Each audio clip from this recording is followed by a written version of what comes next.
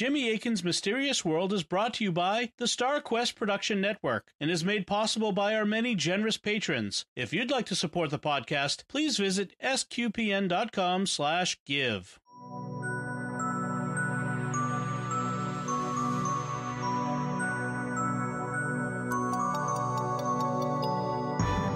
You're listening to episode 77 of Jimmy Akin's Mysterious World, where we look at mysteries from the twin perspectives of faith and reason.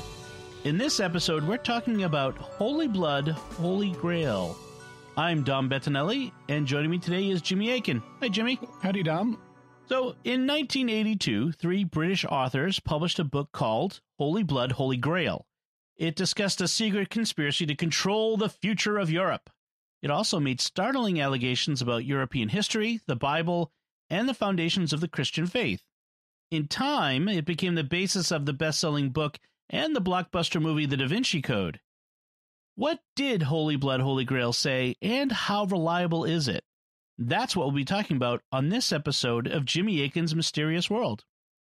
So, first, Jimmy, we should probably mention that this is a patrons episode.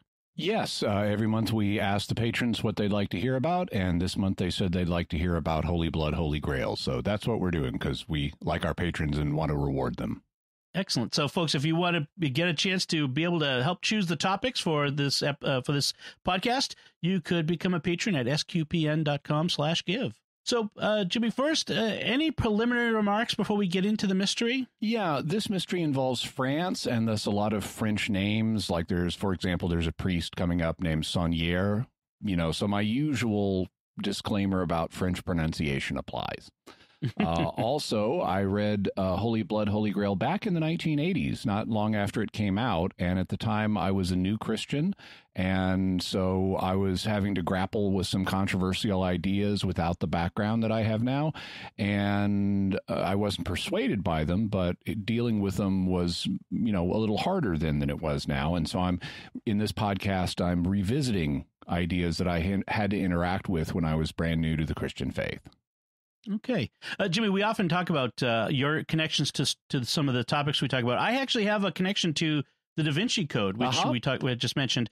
When the book first came out, I picked it up because I was curious. I looked in the acknowledgments, and uh, at the time, I worked for a news service called Catholic World News, and and uh, Brown, the the author of the book, credited Catholic World News. He thanked us for opening with the book, and uh, Philip yeah. Lawler and I, who Philip was the editor, right uh, tried to figure out why we were being credited. We're not quite sure. Maybe he used us as a resource for looking things up, but uh, it was not an acknowledgement that actually we thought was a good thing. yeah, thank general. you for dragging our name into this. yes. So I just thought I'd mention that. So, but we're not talking about the Da Vinci Code. We're talking about Holy Blood, Holy Grail. So, Jimmy, who wrote Holy Blood, Holy Grail? The book had three authors. Their names were Michael Baigent, Richard Leigh, and Henry Lincoln. Michael Baigent was born in 1948 in New Zealand, but he later moved to England. He was raised Catholic but left the faith at an early age, and he worked in the photographic department at the BBC. Later, he got a master's degree in mysticism and religious psychology at the University of Kent. And I didn't know you could get a master's degree in mysticism and religious psychology, but he did. Uh, he was also an active Freemason, and he died of a brain hemorrhage in 2013 at the age of 65. The second author, Richard Leigh, was born in 1943 in America, and he also moved to the UK. He was a novelist and a short story writer, and he died of a heart condition in 2006 at the age of 64. Henry Lincoln, the third author, was born in 1930 in England. He was a scriptwriter, television presenter, and actor. He wrote three serials for Doctor Who in oh. the Patrick Troughton era. So there's a Secrets of Doctor Who connection here. Uh, the serials he wrote were The Abominable Snowmen, The Web of Fear, and The Dominators.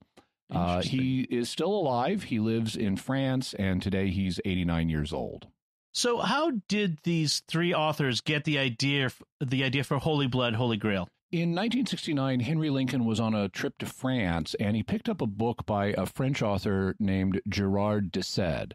The original title of the book, it appeared under a few different titles, but the original title, which is what we'll use, was L'Or de Rennes. And that translates into English as The Gold of Rennes. The book concerned a 19th century French priest named Berenger Saunière. He served in the village Rennes le Chateau from 1885, so into the 19th century, to 1909. And when his bishop tried to transfer him, he refused and was suspended. Hmm. Uh, he remained in Rennes le Chateau until his death in 1917, functioning as a rogue priest without a parish. Uh, he apparently had a substantial source of wealth, which became the basis of various conspiracy theories after his death. That was part of what led de Sede to write about him. And after uh, reading de Sede's book, Henry Lincoln went back to England and in the 1970s made several documentaries about Saunière. The research that Lincoln did with his co authors led them to write Holy Blood, Holy Grail, or the British title was The Holy Blood and the Holy Grail, which was published in 1982.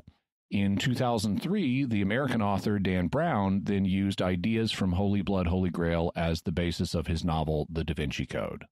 Speaking of Saunière's wealth, how did people explain where he got all this money from? There were different theories. In the 1950s, one French author claimed that Saunière had found secret papers under the altar in his church that led him to discover part of a treasure that dated to the 1200s and that had been amassed by Queen Blanche of Castile, the wife of King Louis VIII. But Baigent Leigh and Lincoln speculate it may have been connected to several different historical sources, including treasures owned by our old friends, the Knights Templar, who we talked about in episode 56. Mm-hmm. Or they said it might have belonged to Cathar heretics, who were common in the region in the Middle Ages or to King Dagobert II of the Merovingian kings that had previously ruled the area, or the Visigoths who had conquered Rome and could have brought the treasure from there, or even the treasure of the temple in Jerusalem, which was destroyed in AD 70, as we talked about in episode 16. They write Treasure, then, may well have been the source of Saunière's unexplained wealth. The priest may have discovered any of several treasures or he may have discovered a single treasure that had repeatedly changed hands through the centuries, passing perhaps from the Temple of Jerusalem to the Romans to the Visigoths, eventually to the Cathars and or the Knights Templar. If this were so, it would explain why the treasure in question belonged both to Dagobert II and to Sion. But the authors also think that Saunière discovered a secret of some kind. On these grounds, we grew increasingly convinced that Saunière's story involved more than riches, and that it involved a secret of some kind, one that was almost certainly controversial. In other words, it seemed to us that the mystery was not confined to a remote backwater village and a 19th century priest. Whatever it was, it appeared to radiate out from Rennes Chateau and produce ripples, perhaps even a potential tidal wave in the world beyond. Could Saunière's wealth have come not from anything of intrinsic financial value, but from knowledge of some kind? If so, could this knowledge have been turned to fiscal account? Could it have been used to blackmail somebody, for example? Could Saunière's wealth have been his payment for silence? After their first documentary aired, the authors got a letter from an individual who wished to remain anonymous, but who claimed to tell them what the secret that Saunière had discovered was. Our correspondent wrote with categorical certainty and authority. He made his assertions baldly and definitively, with no elaboration, and with apparent indifference as to whether we believed him or not. The treasure, he declared flatly, did not involve gold or precious stones. On the contrary, it consisted of incontrovertible proof that the crucifixion was a fraud and that Jesus was alive as late as AD 45. Even the authors themselves admit that this claim sounded preposterous to them at first, and they also admit that the correspondent failed to provide them the incontrovertible proof he claimed to exist.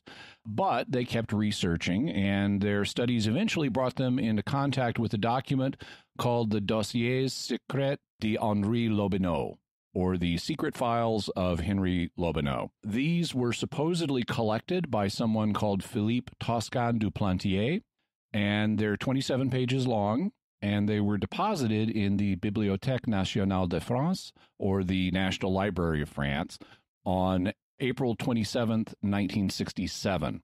There were also other related documents that they found in the National Library. And what did these documents say? They describe the history of a secret society known as the Prieuré de Sion, or the Priory of Zion. A priory is a religious organization of people who've taken monastic vows and are governed either by a prior or a prioress. This particular organization was allegedly founded by Godfrey de Bouillon, who led the First Crusade to victory in 1099 and who was the first ruler of the Crusader Kingdom of Jerusalem. Although, interestingly, he refused the title king because he mm. said hmm. Jesus is the real king. Uh, but his successors, like Baldwin, accepted the title king. The Priory of Zion was related, supposedly, to the Knights Templar, and according to the theory, it has continued to exist in secret as a chivalric order ever since then. Allegedly, they were at one point absorbed by the Jesuits. The Priory also has had influential leaders including grand masters such as the alchemist Nicholas Flamel of Harry Potter fame, the artist and inventor Leonardo da Vinci, the scientist Isaac Newton, the novelist Victor Hugo, the composer Claude Debussy, and the poet Jean Cocteau. Today, they supposedly have members in all kinds of influential positions in politics and finance and other highfalutin fields the goal of the Priory of Zion is supposed to be restoring the Merovingian bloodline to the thrones of Europe. Specifically, they're supposed to be keen to install a particular man of Merovingian descent to the currently non existent throne of France as a figure who will be the great monarch prophesied by the astrologer Nostradamus, who we will be discussing in a future episode. So I've heard the, the name Merovingian in a uh, Matrix movie, but uh, but who were the actual Merovingians of history? They were the ruling family of the Franks between the 400s uh, for a few centuries until 751, when the last Merovingian king was deposed and the Carolingian dynasty began. And why would the Priory of Zion want to restore a dynasty that hasn't governed France in almost 1300 years? Well, you know, secret societies need something to do to keep busy. and there are monarchists in France, although they tend to support the House of Bourbon or the House of Orleans or the House of Bonaparte rather than the Merovingians. Also, the Priory of Zion apparently thinks they would be fulfilling Nostradamus' prophecy, and they supposedly have members who are of Merovingian descent and would like to see their family's fortunes restored. But according to the authors of Holy Blood, Holy Grail, there's also another reason. And and what is that reason? According to them, the Merovingian kings belong to a line that goes back to Jesus Christ. Supposedly, Jesus was married to Mary Magdalene. They had one or more children, and their descendants ended up in Europe and became part of the Merovingian bloodline.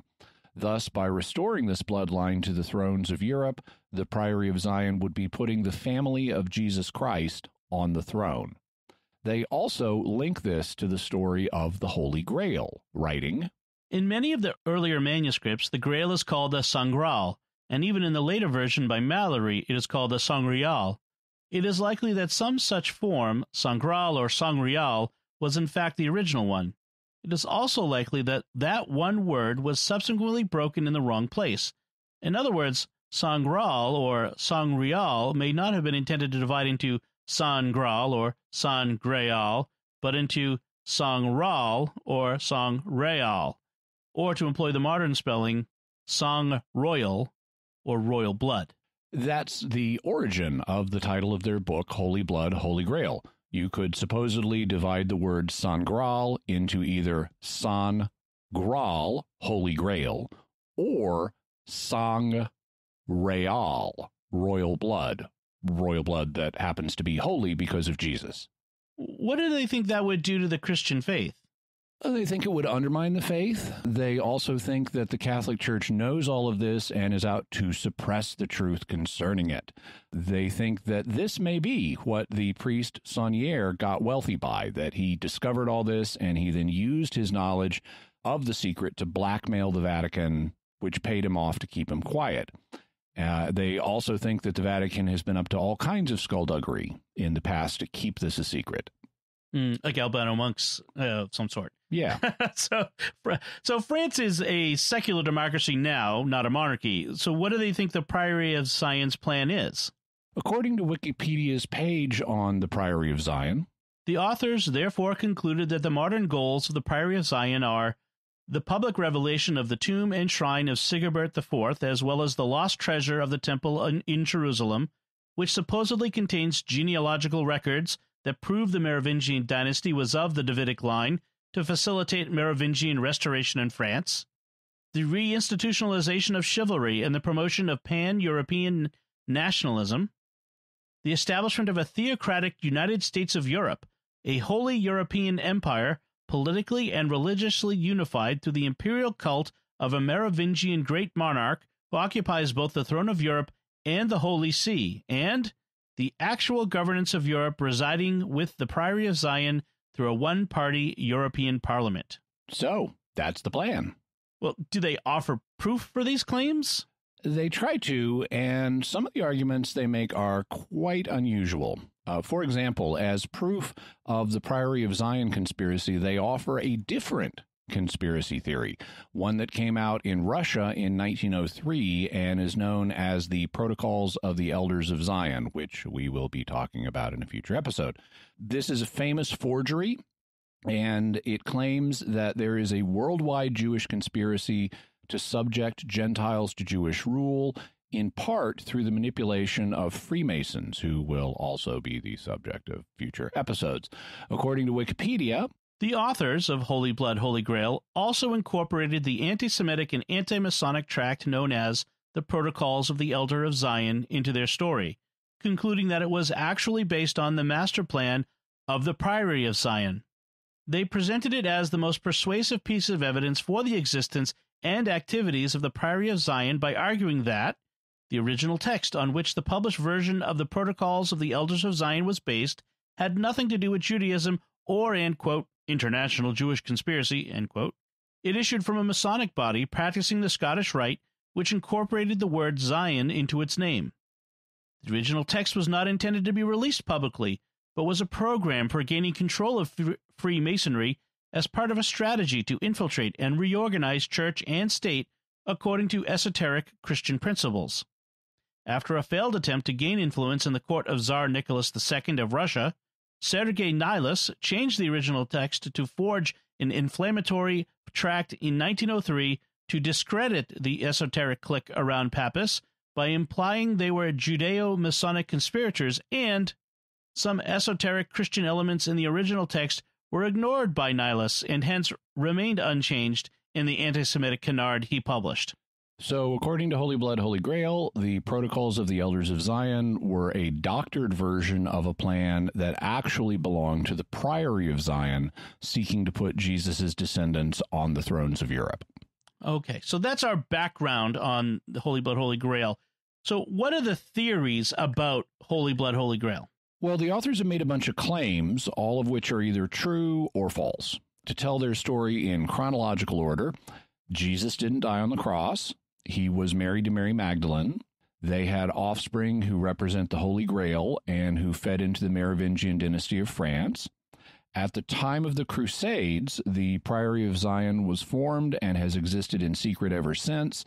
It has adopted as its goals restoring the Merovingian dynasty to power in Europe, which will also mean replacing Catholic Orthodoxy with an esoteric version of Christianity.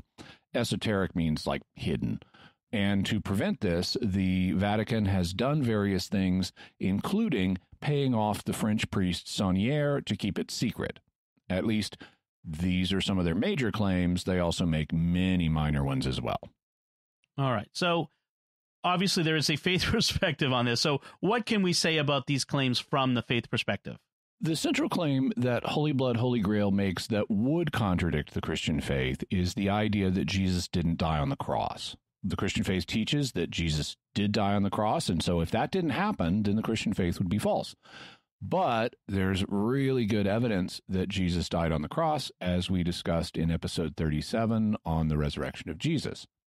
Incidentally, when I read Holy Blood, Holy Grail back in the 1980s, before I was Catholic, I was intrigued by a particular passage in the book that argued that Pope John the 23rd, who reigned in the late 1950s and early 1960s, had subtly laid the groundwork for the idea that Jesus redeemed us without dying on the cross. According to the authors, in June 1960, he issued a profoundly important apostolic letter.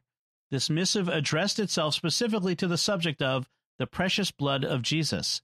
It ascribed a hitherto unprecedented significance to that blood. It emphasized Jesus' suffering as a human being and maintained that the redemption of mankind had been effected by the shedding of his blood. In the context of Pope John's letter, Jesus' human passion and the shedding of his blood assume a greater consequence than the resurrection or even than the mechanics of the crucifixion. The implications of this letter are enormous. As one commentator has observed, they alter the whole basis of Christian belief. If man's redemption was achieved by the shedding of Jesus' blood, his death and resurrection become incidental, if not indeed superfluous. Jesus need not have died on the cross for the faith to retain its validity. So, according to them, John the 23rd, who they argue was actually a member of the Priory of Zion, supposedly subtly shifted the basis of Christian doctrine so that Christ's death was unnecessary in line with the Priory of Zion's goals. And how plausible is that? Uh, not at all. First of all, you can read the actual letter that John the 23rd released for yourself. We'll have a link to it in the show notes. It's called Inde a Primis, and the purpose of the letter is not to change Catholic doctrine. It's to encourage people to have devotion to the precious blood of Jesus. So, this is a devotional letter. It's not meant to alter doctrine, it's just meant to foster people's devotion based on existing teaching. In the letter, John the 23rd quotes from several statements from historic Catholic authors like St. John Chrysostom about the value of Christ's shed blood, but he doesn't create any new doctrines. He just repeats existing doctrines. So, their claim could Jesus have redeemed us just by shedding his blood without actually dying?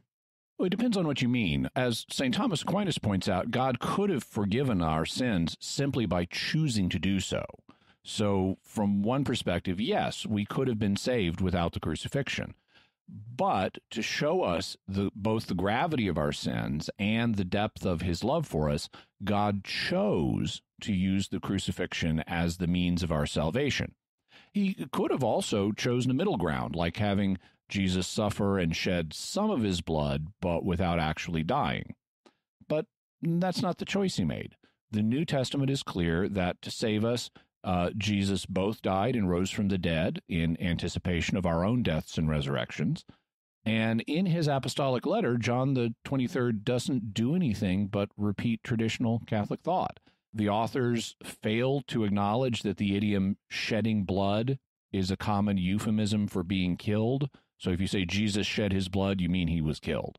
And John the 23rd refers not only to the crucifixion, but also to Jesus' resurrection from the dead, indicating that John the 23rd taught that Jesus really did die, something he's also quite explicit about in his other writings. Thus, the authors just flatly misrepresent what the Pope was doing in this letter. What about the claim that Jesus was married and had children? Would that undermine the Christian faith? It's not what Christians have historically understood, and it's offensive to pious sensibilities. But there's no statement in the New Testament that explicitly says that Jesus had no human wife and children. The New Testament provides very good evidence that he didn't, and we'll cover that in the reason section. But from the faith perspective, it wouldn't destroy the Christian faith if Jesus had chosen to marry and have children. To redeem us, Jesus needed to be the all holy Son of God, but holiness and marriage are not incompatible. If the Son of God had chosen to take a human wife, he would have been a perfectly holy husband, and he could have still redeemed us.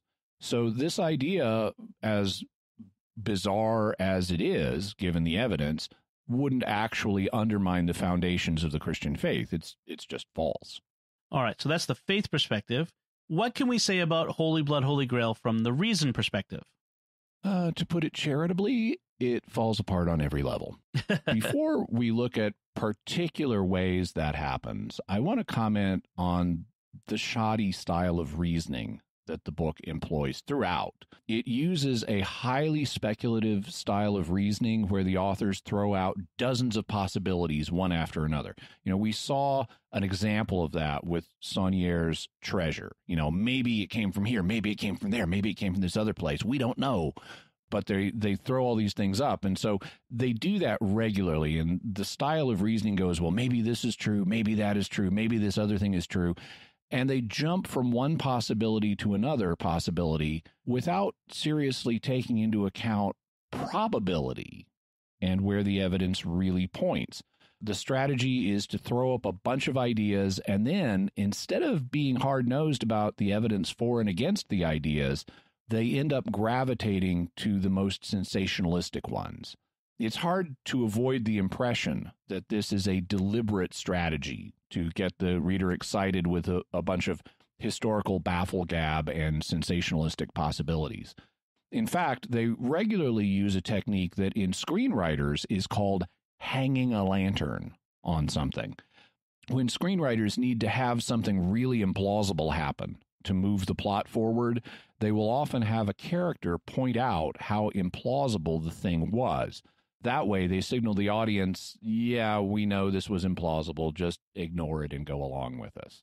Uh, for example, if you're watching a movie and the characters are in a dire situation where a plane is crashing and the characters manage to survive the crash, one of them may say, Well, it was lucky we survived that plane crash, wasn't it? And by doing that, the authors, the writers of the screenplay acknowledge that yeah, it was unlikely that the characters would survive. But now that they've pointed that out, they can move on with the plot. This is called hanging a lantern on something because it momentarily shines light on the implausibility, like hanging up a lantern shines light on things. But the real purpose is to get the audience to ignore the implausibility and just accept what the authors want to do. Well, regularly in Holy Blood, Holy Grail, the authors will hang a lantern on implausible ideas that they want the readers to accept. They will mention a highly implausible and sensationalistic idea, and then they will say something like, But this claim seems extraordinary, incredible. You know, that's the lantern being hung. And then they move on and say something like, And yet it seems at least possible that it could be true and that's the authors moving on. Uh, they then treat the implausible sensationalistic claim as if it's totally plausible and likely to be true. Overall, the reasoning in Holy Blood, Holy Grail is like an extreme case of what you find in bad TV documentaries that deal with mysteries and paranormal phenomena.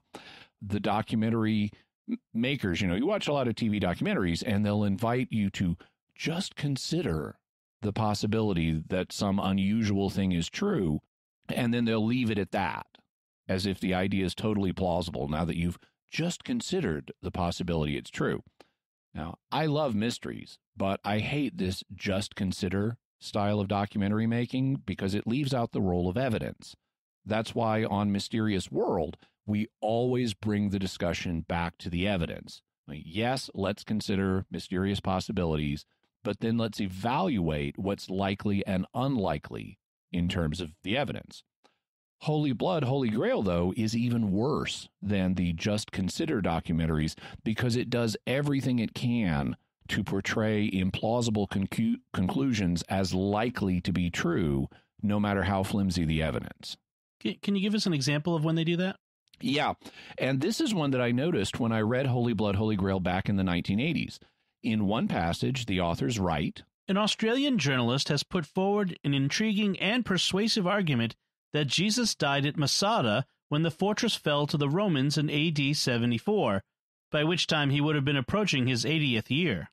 So, an Australian journalist has put forward a persuasive argument that Jesus died at Masada in AD 74. Well, the journalist was named Donovan Joyce, and he made the claim in his 1972 book, The Jesus Scroll. Now, let's read the footnote where the authors of Holy Blood, Holy Grail detail the persuasive argument he's, he made. Joyce claims that while in Israel, he was asked to help smuggle a stolen scroll from the Masada excavations out of the country. Although he refused, he claims to have seen the scroll. It was signed Yeshua ben Jacob ben Genesareth, who described himself as 80 years old and added that he was the last of the rightful kings of Israel. Page 22. The name, when translated into English, becomes Jesus of Genesareth, son of Jacob. Joyce identifies the author as Jesus of Nazareth. So already we have a bunch of red flags. Joyce's claim is based on a scroll that nobody has access to today. He claims only to have seen the scroll. As we'll see, he did not claim to have read it. And the Yeshua or Jesus mentioned in the scroll is named Ben Yaqub ben Gennesareth, which they translate as son of Jacob, son of Gennesareth. That's a, a village in the northern part of Israel. But the biblical Jesus was Jesus, son of Joseph of Nazareth, not Jacob of Gennesareth. So we've got two different Jesuses that they're conflating for no reason. But the red flags don't end there because back in the 1980s, I decided to follow up on this argument and I got a copy of the Jesus scroll, which I still have. And in it, here's what Joyce says. On the night of Monday, December 14th, 1964, an archaeologist whom I had known for the past 10 days as Professor Max Grosset, a name which he cheerfully admitted was false, accosted me at Tel Aviv's Lod airport with an offer of $5,000 if I would perform a small service. All that I had to do was smuggle out of Israel that very night, aboard BOAC's Flight 710 to Australia, an ancient parchment scroll which he claimed to have stolen several weeks earlier from the excavations of biblical King Herod the Great's ruined fortress of Masada. According to Professor Grosset, and I have only his word for my meager knowledge of the scroll's alleged contents, it had been written on the night of April 15th, 73 AD. Again, according to Professor Grosset, the man had written his name Yeshua ben Yaakov ben Genesareth.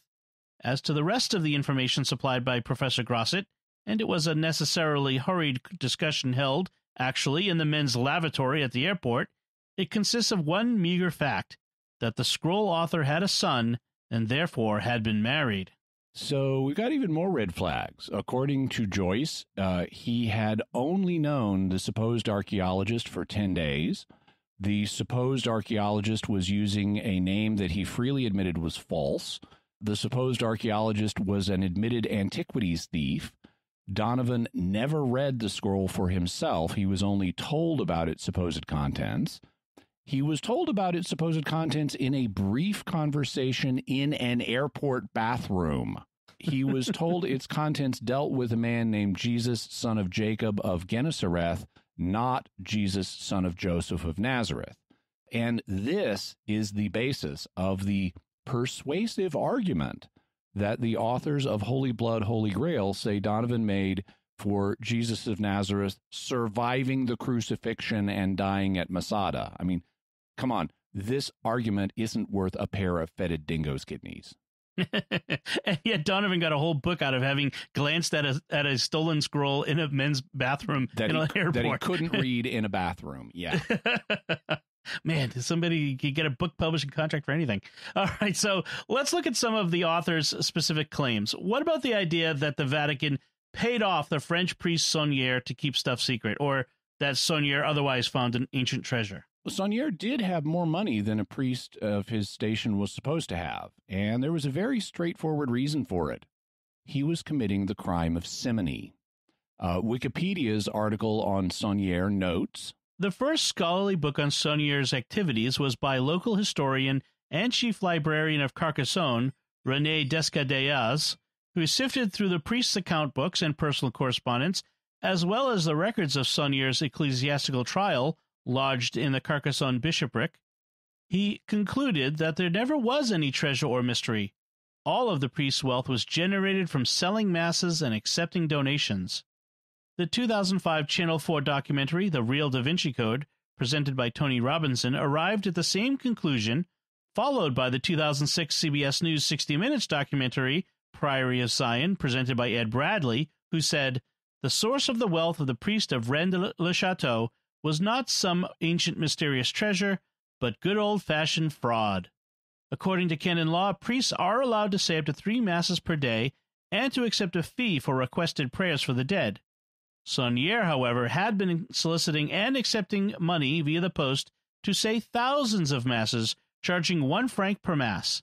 Some clients would send payment for hundreds of masses, which he never actually performed.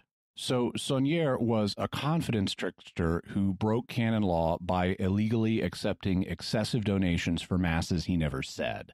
No ancient treasure, no blackmail of the Vatican. In fact, the religious authorities suspended him because of his criminal behavior. So, what about the idea that there's a secret society known as the Priory of Zion, which has existed since the Crusades and is trying to restore the Merovingian kings to power? Well, there was an organization known as the Priory of Zion, but it wasn't a secret society stemming from the Crusades. The facts about it are well known, and as Wikipedia's page on the Priory of Zion notes, the Prieuré de Sion, translated as Priory of Zion, was a fraternal organization founded and dissolved in France in 1956 by Pierre Plantard. The 1901 French Law of Associations required that the Priory of Zion be registered with the government, although the statutes and the registration documents are dated May 7, 1956. The registration took place at the sub-prefecture of Saint-Julien-en-Genevois on June 25, 1956, and recorded in the Journal officiel de la République française on July 20, 1956. The headquarters of the Priory of Zion and its journal circuit were based in the apartment of Plantard in a social housing block known as Sous-Cassan, newly constructed in 1956.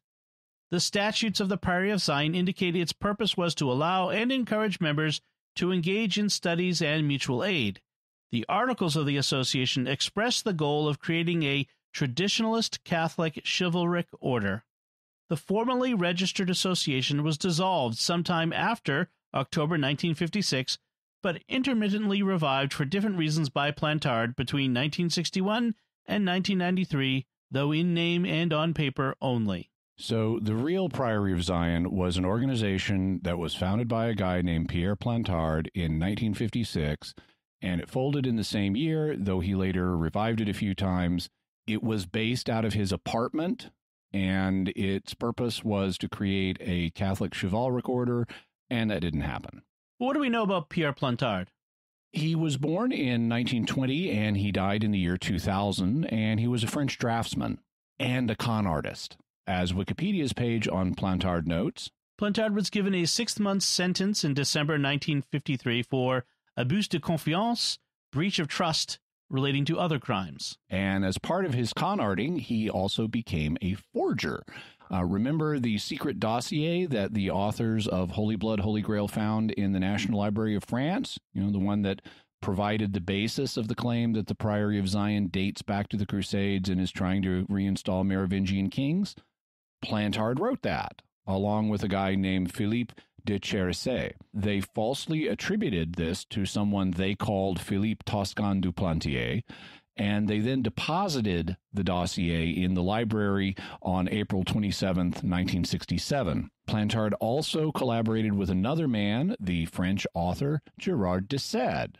Uh, remember the book that Henry Lincoln originally got in France, which dealt with the unexplained wealth of Saunière. That book was originally published as L'Or de Rennes, uh, or The Gold of Rennes, and it was based on a manuscript that Pierre Plantard wrote. But Plantard couldn't get it published, and so he let de Sede rewrite it so that it could get published. The two later fell out over royalty payments, and The Gold of Rennes also contains forged documents related to the Merovingian kings.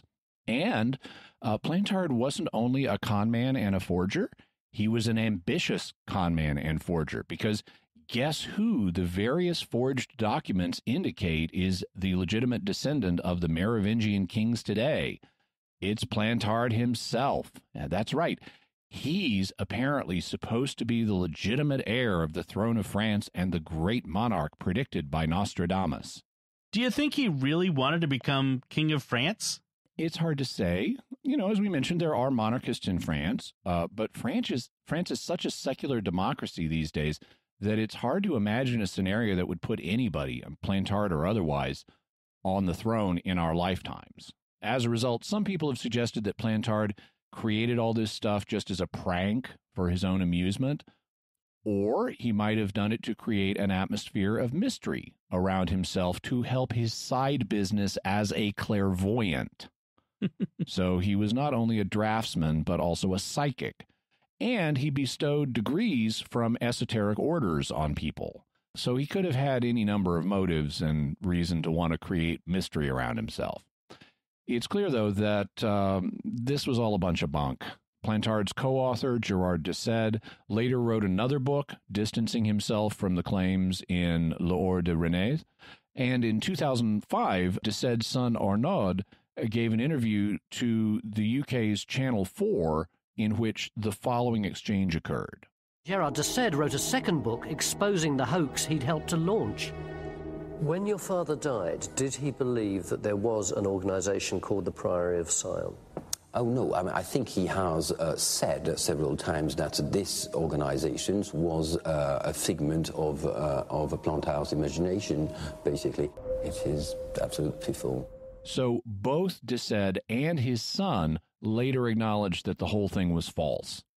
And things didn't end well for Plantard himself. As Wikipedia's page on him notes, a 1989 Priory of Sion circular cited Roger Patrice Pelat as a Grand Master of the Priory of Sion. Pelat was a friend of the then President of France, Francois Mitterrand, and at the center of a scandal involving French Prime Minister Pierre Beregovoy. This initiative by Plantard had an unexpected consequence. In October 1993, the judge investigating the Pelat scandal had Pierre Plantard's house searched. The search failed to find any documents related to Pelat, but turned up a hoard of false documents, including some proclaiming Plantard the true king of France. Plantard admitted under oath he had fabricated everything, including Pelat's involvement with the Priory of Sion. Plantard was later threatened with legal action by the Pelat family and therefore disappeared to his house in southern France. He was 74 years old at the time. Nothing more was heard of Plantard until he died in Paris on February 3, 2000. His remains were cremated. So Plantard admitted under oath that he had fabricated everything and then he went into seclusion. All right, so what about this idea that Jesus was married to Mary Magdalene and that they had offspring who represent the Holy Grail and who fed into the Merovingian dynasty? This was a bridge too far, even for Plantard. He did not claim this. It was an idea that the authors of Holy Blood, Holy Grail came up with themselves, and Plantard rejected it. In a 1982 interview on French radio, he said, I admit that Holy Blood, Holy Grail is a good book, but one must say that there is a part that owes more to fiction than to fact, especially in the part that deals with the lineage of Jesus. How can you prove a lineage of four centuries from Jesus to the Merovingians? I have never put myself forward as a descendant of Jesus Christ. So even Plantard recognized the impossibility of showing the author's claims regarding Jesus' alleged bloodline. And there's good reason to reject the idea altogether. Despite arguments to the contrary, there is good evidence that, as Christians have always believed, Jesus wasn't married. I've gone through the arguments both for and against him having a wife, in an inexpensive Kindle book that you can get on Amazon. It's called Was Jesus Married? And we'll have a link to it in the show notes. But for now, let me just mention two key points of evidence. First, the Gospels report in Matthew 19 that when the disciples asked whether it was better to remain unmarried, Jesus replied by saying, Not all men can receive this precept, but only those to whom it is given. For there are eunuchs who have been so from birth and there are eunuchs who have been made eunuchs by men, and there are eunuchs who have made themselves eunuchs for the sake of the kingdom of heaven. He who is able to receive this, let him receive it. So Jesus indicated that although celibacy isn't for everyone, being a eunuch for the sake of the kingdom of heaven is preferable, and that those who can accept it should. He therefore held up celibacy for spiritual reasons as a superior state. But it would be very unexpected if the founder of the movement held up an ideal that he himself was known not to meet. Jesus would be telling people that he was spiritually inferior, and that would have provoked comment. There would have been a note that even though Jesus said, This is better, he himself was not married and didn't do it. So he would have been one of the people who couldn't accept it. And that would have You know, if you're if you're if you think you're you're following the Son of God who's all holy and he's not meeting his own standard, that's going to get comment. Second, in multiple books of the Bible by different authors, the church is depicted as the bride of Christ, that Jesus is married mystically to his church. But that image would never have arisen if there was a literal human Mrs. Jesus somewhere. It's only in the absence of a human wife that the metaphor of the church as the bride of Christ would take hold among Jesus' followers. This is the flip side of him being a eunuch for the sake of the kingdom of heaven. Jesus refrained from human marriage so he could perform his mission, including his death, and thus serve his church to whom he's mystically married. There are also other arguments, but to read them, check out my Kindle book, Was Jesus Married? What about the argument that Jesus didn't die on the cross? This is one of the places where Holy Blood, Holy Grail is the weakest. Uh, the New Testament authors repeatedly emphasize the fact that Jesus died. Uh, the Gospels contain multiple indications of this, like when Jesus' chest is pierced by the Roman soldier's spear and blood and water flow out, indicating that either his pleural cavity or the pericardial sac around his heart was pierced. And there's just no way to survive that. The only way that the authors of Holy Blood, Holy Grail can argue that Jesus didn't die is by cherry picking the data in the Gospels, accepting bits of evidence whenever they fit their theory and simply dismissing the evidence that doesn't fit. And that's not scholarship. If you can reject any data that doesn't fit your theory, then you can prove anything. And that means you don't prove anything because the contrary can also be proven by ignoring evidence selectively. The evidence that Jesus died on a cross is so strong that we're considering it here from the reason perspective rather than the faith perspective because you don't need Christian faith to accept this historical fact. The overwhelming majority of scholars, including antagonistic ones like Bart Ehrman, acknowledge that Jesus died on the cross. That's what the cross was for. It was for killing people. That's why Romans crucified people, and they were very good at it. So, you know, we don't need to belabor the point here, but if you'd like more background on this, listen to episode 37 of Mysterious World on the resurrection of Jesus. Is there anything else we should know about Holy Blood, Holy Grail? There's, there's a lot we could say, but uh, one thing we've already mentioned is that the basic theses of this book were lifted by the novelist Dan Brown for the Da Vinci Code. And that didn't please the authors of Holy Blood, Holy Grail. Two of them sued Dan Brown for copyright infringement, but they lost their case. Interestingly, the judge who ruled against them, uh, Judge Peter Smith, embedded a secret code in his ruling, and we'll have a link to that. It's called the Smithy Code. That's awesome. And so, uh, Jimmy, what's your bottom line on Holy Blood, Holy Grail? Uh, Holy, Holy Blood, Holy Grail is pure bunk, and it's badly done bunk. It's so badly done that it's hard to believe the authors actually believe what they write.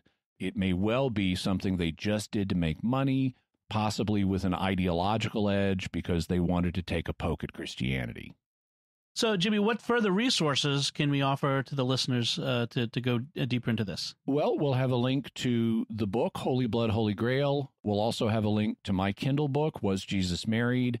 There are also the original BBC documentaries that the book was based on. Well, those are on YouTube. We'll have a link to that.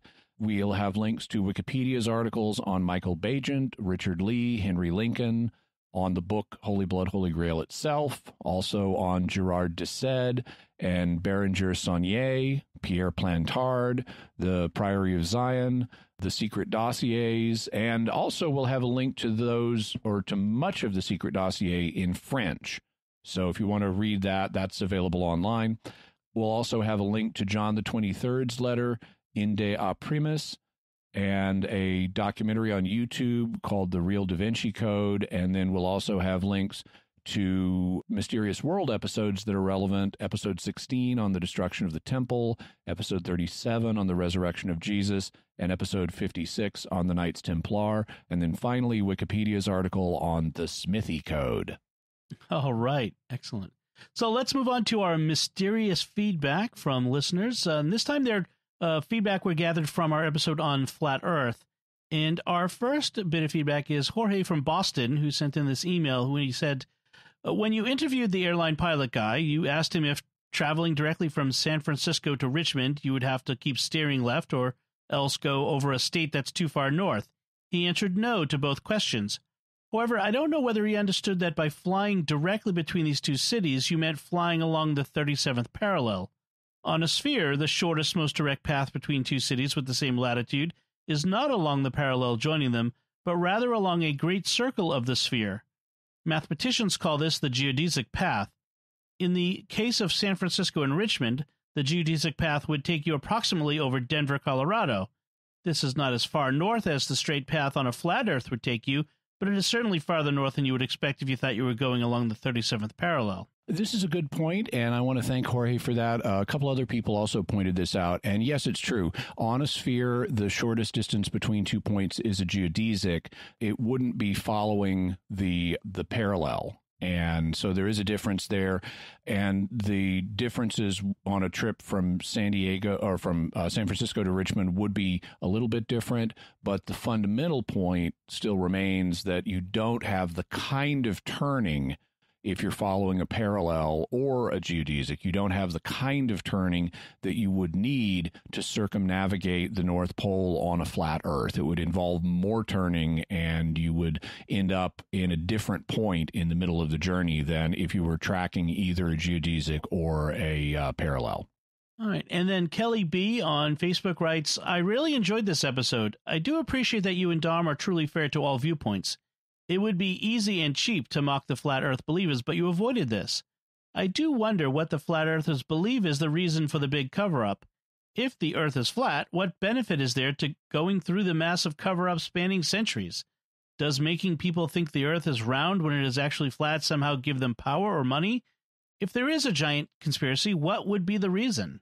This is something that I, uh, you know, that was a long episode, and so I didn't have a chance to go into everything I wanted. But I can't say all flat earthers have this motivation, but the most prominent explanation that I've seen in flat earthers make for why there would be this giant conspiracy is that it's to undermine religion.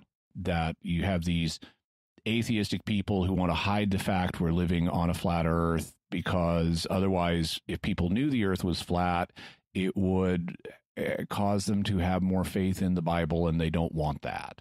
This is a difficult charge to sustain, though, since, you know, as we covered, since the time of the church fathers, the church has been fully aware we're living on a sphere. The church has been advocating that idea and saying this is quite compatible with the Bible. So, how it would undermine faith in Christianity or the Bible to say we're living on a sphere is not clear because that's been the majority position uh, in the Christian church down through the centuries. And then Christian Castillo writes on YouTube Well, Jimmy, I'm only listening to something about the flat earth because of you. You're truly amazing when it comes to being impartial and kind.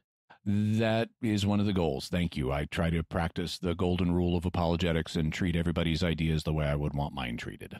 And uh, Jim Morrison in Paris I wonder if it's that Jim Morrison. Uh, it would be very truly remarkable. It would be. so Jim Morrison in Paris writes on YouTube uh, Jimmy Akin is the most charitable conspiracy debunker on YouTube. Well done, sir. Thank you, and you're very kind. Sam's Hearing Aid Centers on YouTube writes The only thing a flat earther has to fear is a sphere itself. yeah, nice wordplay.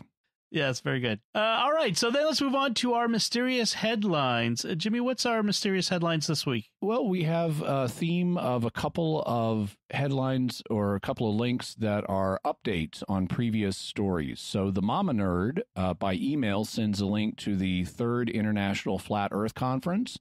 And so I will resist saying that gathered flat earthers from all over the globe.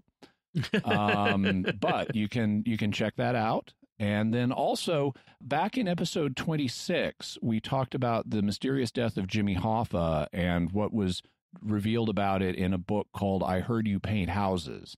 And we noted at the time that that was being made into a film for Netflix by Martin Scorsese, and the film is called The Irishman.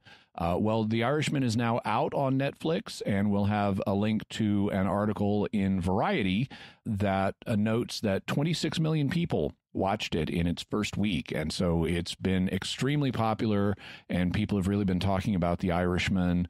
And it's kind of a long movie, so some people are watching it in stages, but uh, it's out now on Netflix, and you can watch it for yourself.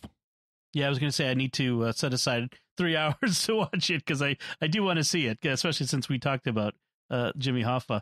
Uh, I have to point out, by the way, the, the Mama Nerd, mm-hmm. I have a, a, connection to her. That That's my oh. mother-in-law. oh, really? yes. Oh, cool. So, yeah, that's Pat Scott, who uh, folks often hear on The Secrets of Technology.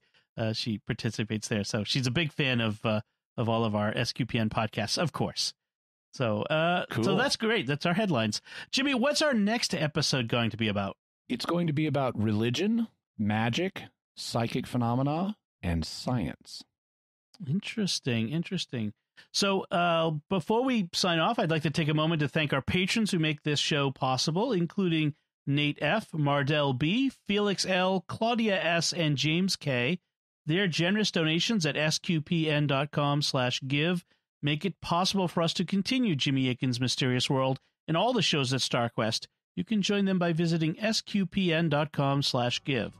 So that's it from us. What do you think of the book Holy Blood, Holy Grail and what Jimmy had to say about it, you can let us know by visiting sqpn.com slash mysterious or the Jimmy Akin's Mysterious World Facebook page or by sending an email to mysterious at sqpn.com or you can send a tweet to at mys underscore world with the hashtag of mysterious feedback. Uh, be sure to check out the Mysterious World bookstore at mysteriousworldstore.com for links to all the books and videos that Jimmy mentions in every episode of the show. And then you can find links to Jimmy's resources from our discussion and links to the mysterious headlines on our show notes at sqpn.com slash mysterious. Until next time, Jimmy Akin, thank you for exploring with us our mysterious world. Thanks, Dom. And once again, I'm Dom Bettinelli. Thank you for listening to Jimmy Akin's Mysterious World on StarQuest.